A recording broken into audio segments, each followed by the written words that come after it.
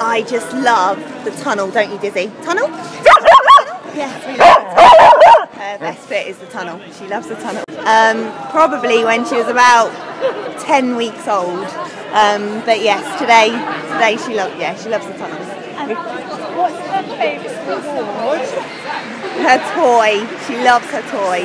Um, it's just the be all and end all. Apart from my cuddles, but she doesn't like that too much, do you? I like my toy best, is what she says. When she's going round, do you think that um, a lot of it is loyalty to you?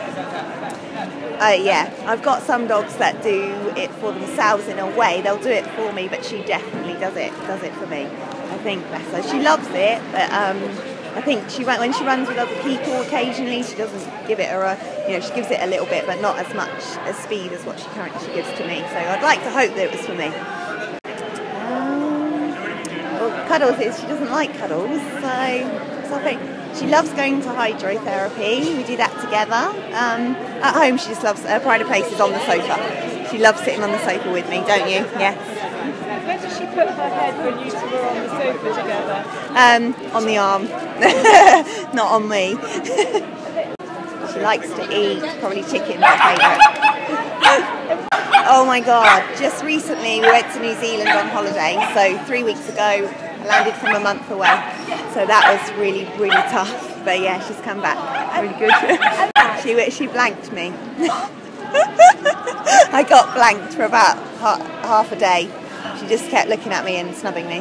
really? yeah. That's incredible. Naughty, wasn't it, Diz? Yeah. And then when she's finished doing that, who made the first move? You or her? I kept trying, but it's uh, definitely on her terms.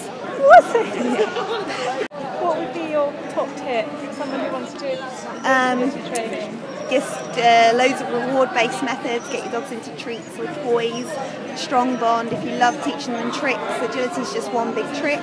Um, so yeah, that would be my main. Lots of tricks and get the real strong bond with your toys and treats to get the motivation to work for you. And do you always kiss her before you start? Uh, yeah, sometimes. yeah.